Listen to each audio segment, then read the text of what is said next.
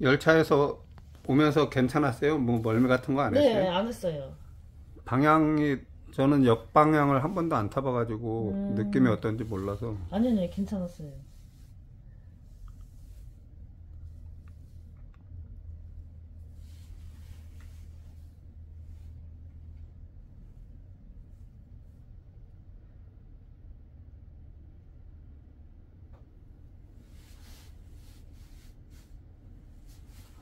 아, 이뻐.